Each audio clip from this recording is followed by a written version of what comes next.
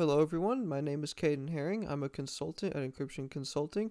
We're covering all the aspects of data protection landscapes such as encryption, data security, key management, and privacy, and we're helping our clients to understand this information. And today we're going to be looking at quantum encryption versus classical encryption. In today's digital age, data protection is essential. With the increase in cyber attacks, it's become necessary to secure confidential information from unauthorized access as much as possible.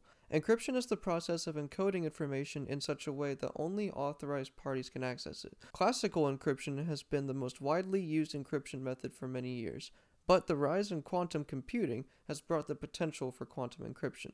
So in this video, we're going to explore the differences between classical and quantum encryption.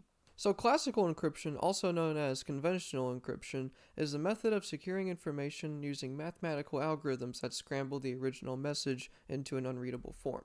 The sender encrypts the message and the receiver decrypts the message using a shared key. The most commonly used algorithms for classical encryption are the Data Encryption Standard algorithm and the Advanced Encryption Standard algorithm. Classical encryption is widely used today as it's used for data security, for online banking, e commerce, and communication between individuals and organizations. So, what's quantum encryption? It's a method of securing information using quantum mechanic principles. Quantum encryption is based on the fundamental principles of quantum mechanics, such as the Heisenberg uncertainty principle and the no cloning theorem. Quantum encryption uses quantum bits or qubits to create a secure key that can't be intercepted or replicated. The most used quantum uh, encryption algorithm is the Quantum Key Distribution Protocol. QKD for short works by sending qubits over a communication channel.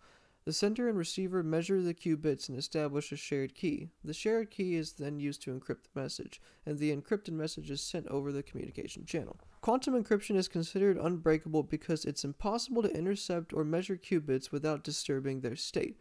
Any attempt to intercept or measure qubits would be detected, and the key would be discarded, making the communication completely secure.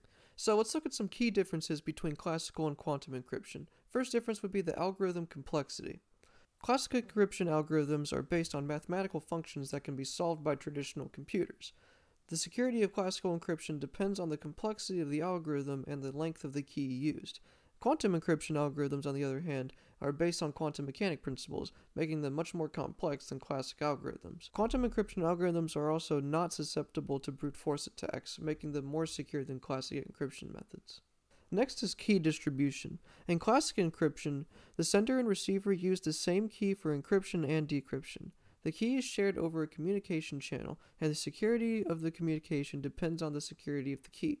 Quantum encryption uses a different approach to key distribution, using QKD to establish a secure key that can't be intercepted or replicated. The shared key is then used to encrypt the message, making it completely secure. And the next is security. Classical encryption methods are susceptible to attacks such as the brute force, which involves trying every possible key combination until a correct one is found. Quantum encryption, on the other hand, is considered unbreakable due to the fundamental principles of quantum mechanics.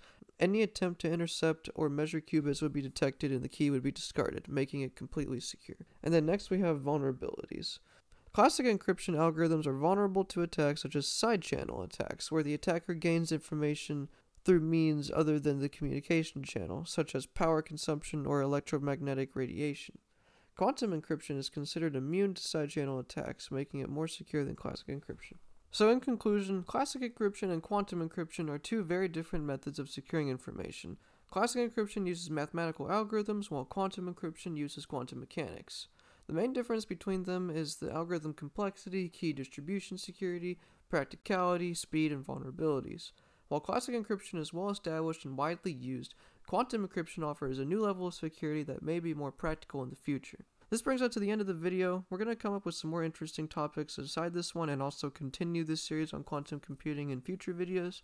And if your organization is looking for any implementation of security, then you can contact us at info at encryptionconsulting.com for further information.